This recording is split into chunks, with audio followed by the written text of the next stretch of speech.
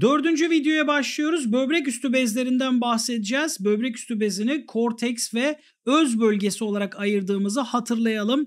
Hemen buna aynı zamanda adrenal bez de deniyordu. Çünkü adrenalinin vücudumuzda üretildiği tek yer böbrek üstü bezidir ve öz bölgesidir. Şimdi biz bu öz bölgesini ortadan bir kaldıralım hocam. Öz bölgesine medulla denir. Kabuk bölgesi kortekstir. Medulla bölgesinden adrenalin ve noradrenalin salgılanır. İşte burası da korku, panik, heyecan durumlarında devreye girmemizi sağlıyor.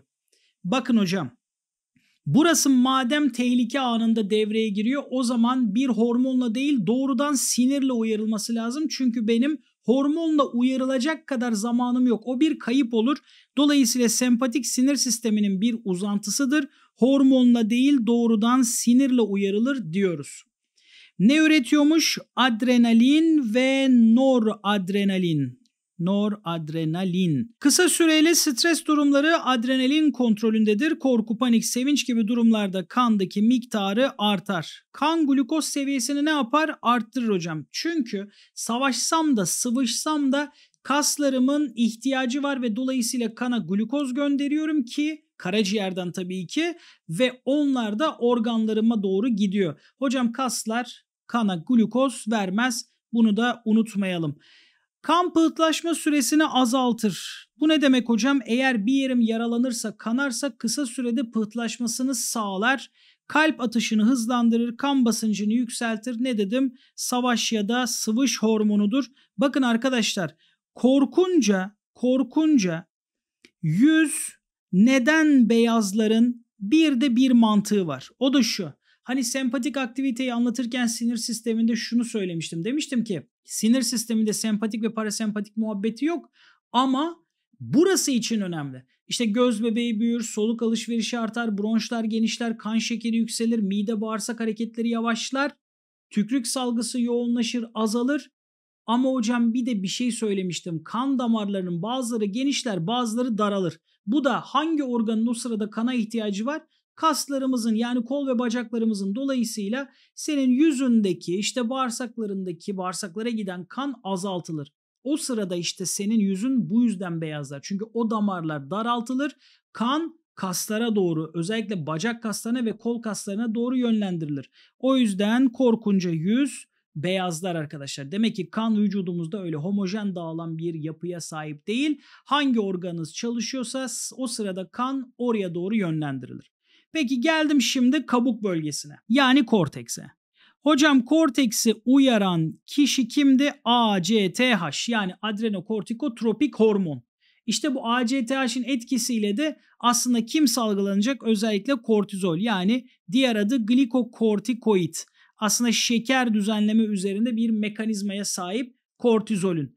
Şurada eşeysel hormonları aradan çıkartalım. Kortizol ve aldosteronu uzun uzun konuşuruz. Kabuk bölgesinden az miktarda progesteron, östrojen ve testosteron hormonları üretiliyor. Peki hocam sadece buradan üretiliyor? Saçmalama. Özellikle yumurtalıklardan, testislerden de bunların üretildiğini biliyorum. Ama tekrar söylüyorum halka ne zaman kapanacak?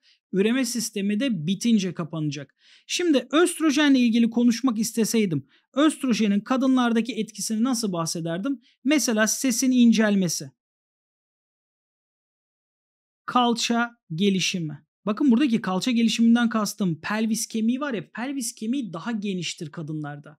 Erkeklerde daha dardır. Çünkü bunun doğum eylemiyle doğum olayıyla ilişkisi olduğunu biliyoruz. Yani adli tıpçılar, antropologlar pelvis kemiğine bakarak o iskeletin kime ait olduğunu, kadına mı erkeğe mi ait olduğunu anlayabilirler pelvis çapından dolayı. Peki başka ne diyebiliriz hocam? Meme bezlerin gelişimi, meme gelişimi de diyebiliriz. Cinsel organ gelişimi, Ve böyle östrojenin tabii ki menstrual döngüyü anlatırken endometrium üzerine etkisi var. Endometrium yani uterusun iç katmanı hocam uterusta mitozla endometriumu kalınlaştırır. Bakın endometrium mitozunu arttırır. O yüzden biz östrojeni 55 yaşından sonra bir kadında artmasını beklemiyoruz, istemiyoruz. Çünkü kontrolsüz mitoza neden olursa uterusea yani rahim kanserine neden olabilir. Peki hocam testosterona gel. Testosteronu erkek için düşünüyorum. Burada da aynı mantık yine organ gelişimi, eşey organların cinsel organ gelişimini sağlar. Bu sefer sesin kalınlaşması, şöyle kalınlaşması, sakal bıyık oluşumu, Yani aslında sekonder cinsiyet karakterleri diyorlar yani işte ses inceleri vesaire öbür tarafta da ses kalınlaşır kas. O sekonder ka- karakter mantığı buradan geliyor. Peki hocam burada kas gelişiminde dedik yazalım. Ama progesteronu da unutmayalım. Yıldızımızı atalım. Progesteron hamileliğin sigorta hormonudur arkadaşlar. Hamilelikte sigorta. Yani progesteron olmazsa hamilelik olmaz. Neden? Çünkü rahim kaslarının kasılmasını önler. Rahim kaslarının kasılmasını önler. O zaman hamilelik süresince belli bir seviyede tutulması gerekiyor. Sigorta olduğunu şimdiden söylemiş olalım. Evet. Hocam şöyle madem bunlardan bahsettin bir de eşeysel bezleri aradan çıkarsana. Erkeklerde testis, kadınlarda yumurtalık. Herkese karma bez gibi düşünülür. Sonuçta kana hormon veriyor. Kanala birisi yumurta birisi sperm veriyor. O şekilde düşünebilirsiniz. Bakın onun da burada yorumunu yaptık. Testosteron erkeklerde Leydig hücreleri tarafından üretilecek. Östrojen ve progesteron da yine yumurtalıkta korpus luteum tarafından üretilecek. Hocam ne diyorsun? Dediğim gibi burada en son üreme sistemi de oturunca bunların hepsi arkadaşlar anlaşılacak. Şimdilik sadece duymuş olun bana yeter. Kortizol, kısa süreli stres, adrenalin, uzun süreli stres, kortizol. Şimdi adrenalin kısa süreli, yarı ömrü de kısa adrenalinin. Hani diyorum ya korkunca altımı işeme durumum aslında bilimsel bir cümle değil. Korku faktörü ortamdayken sizin mesaneniz genişler, sfinkteriniz daralır, idrar çıkarmanız engellenir. Ama adrenalin yarı ömrü kısa olduğu için ne oluyor? Adrenalin ortadan kalkınca hop kişi idrar kaçırıyor. Bu ise uzun süreli stres. Yani işte hep verdiğim örnek ama sevdiğim bir örnek sınav senesi. Sınav seneniz arkadaşlar uzun süreli bir strestir. ACTH ile beraber salgılanan MSH da olduğu için vücudumuzda bu kişiler uzun süreli stres durumlarında kararırlar. O yüzden hep ne diyorum? Stres yapan öğrencimin sene başındaki ve sene sonundaki çekilmiş fotoğraflarındaki renkleri, ten renkleri aynı olmaz eğer gerçekten sınavın hakkını vermiş ve o stresi yaşamışlarsa. Stres yaşamak kötü bir şey değil. Anksiyeteye dönmediği sürece stres sorumluluk sahibi insanların duygusudur. Unutmayın. Tamam? Peki devam et hocam. Bağışıklık sistemini baskılar. İşte biz bunu bildiğimiz için arkadaşlar ilaç olarak kullanabiliyoruz. Özellikle otoimmün hastalıklarda biz kortizol verebiliyoruz. Bazı kanser durumlarında da kortizol verilebilir ama kortizolün yüksek sıcaklığı düşürme etkisi var arkadaşlar. Düşmeyen ateşi olan hastalarımıza da kortizol veriyoruz orantısız yağlanmaya neden oluyor. Özellikle bel bölgesinde, ense bölgesinde, kalça bölgesinde orantısız yağlanma oluyor. Halbuki kollarına, bacaklarına baktığınız zaman zayıf insanlar görüyorsunuz. Protein yıkımını arttırır, yağların yıkımını arttırır. Amino asitlerden glukoz sentezini arttırır ve kan şekerini bu şekilde yükseltir. Tabii öğrencim haklı olarak şu soruyu soruyor bana. Madem yağların yıkımını arttırıyor hocam, orantısız yağlanmaya nasıl neden oluyor? Neden yağlanma oluyor? Aslında buradaki olayımız şu arkadaşlar. Glukozun artması. Yani buradaki tetik noktası glukoz sentezinin artması. Bunu mekanizmasını şöyle anlatmak istiyorum. Bizim vücudumuzda glukoz artarsa tepki olarak insülin artar. İnsülin anabolizan bir hormondur. Anabolizmayı arttırır. Ancak karşısında yıkıcı bir hormon da var. Dolayısıyla insülin gidip kollarda, bacaklarda yağ biriktirmek yerine vücutta en kolay yağın birikebileceği yerlerde yağ biriktirmeye çalışır. Dolayısıyla buralar nereler? İşte bel bölgesi, ense bölgesi ve kalça bölgesi. O yüzden aslında orantısız yağlanma ile giden bu durumda arka planda insülinin de etkisi var. Çünkü burada bir insülin direnci de söz konusu oluyor. Böyle multiple bir sendrom, multiple bir hastalık durumu söz konusu oluyor. Tamam? Yani buradaki sadece kortizol yıkım hormonudur hocam. Nasıl oluyor da yıkım hormonu orantısız yağlanma işte şişmeye, kilo olmaya neden oluyor? Arka planda glukoz artışından kaynaklı insülinden kaynaklanıyor arkadaşlar. Kemiklerde ara madde kaybına neden olur. Bundan dolayı da arkadaşlar kemiklerin kırılganlığı maalesef artar bu hastalarımızda. Peki kan şekerin artışından bahsettik ama şunu da söylemek istiyorum. Özellikle kan şekeri artar ama glukoz kullanımını azaltır tamam? Glukoz kullanımını azaltır. İşte böyle mesela bazı hormonlar olacak kan şekerini normalin üzerine çıkartan. Bakın normalin üzerine çıkartan. Normali çıkartan glukagon ama normalin üzerine çıkartan işte adrenalin gibi, kortizol gibi hormonlarımız olacak. Aldosteron aslında diğer adı mineralokortikoid. Hocam kandaki sodyum, klor ve potasyum dengesinde önemli rol oynar. Ancak bana bir tetik, bir başlangıç noktası lazım. Ben de diyorum ki bak şuna dikkat edeceksin. Düşük kan hacmi, azalmış sodyum, artmış potasyum. Bu üçü ya da üçünden biri mineralokortikoid olan aldosteronun salgılanmasına neden olabilir. Renin angiotensin aldosteron sistemi diye bir sistem vardı. Ben size bununla ilgili örnek soru da çözmüştüm. Hatta bir daha gündeme getireceğim sonuçta bu videoları ilk defa izleyen arkadaşlarımız var. Renin angiotensin aldosteron mekanizması arkadaşlar örnek MEP sorularında da var. Yine full tekrarlarda karşınıza çıkaracağım merak etmeyin. Şimdi dönelim hocam. Nefronlardan sodyum ve klor geri emilimini arttırır, potasyum emilimini azaltır. Potasyum tehlikeli bir mineral. Kişinin kanına potasyum verirseniz kişi ölür. Neden? Çünkü kalbin diastolde durmasına yani kasılmasını engeller. Diastolde durmasına neden olur. Normalden az salgılanmasında kan basıncı düşer, kas yorgunluğu görülür, deri koyulaşır. Ki biz burada Addison hastalığından bahsediyoruz ama okul kitabında artık Addison hastalığının meraklısına diye gösteriyorlar.